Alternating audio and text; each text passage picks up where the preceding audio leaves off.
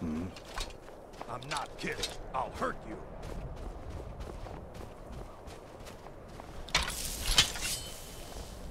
Get out of here.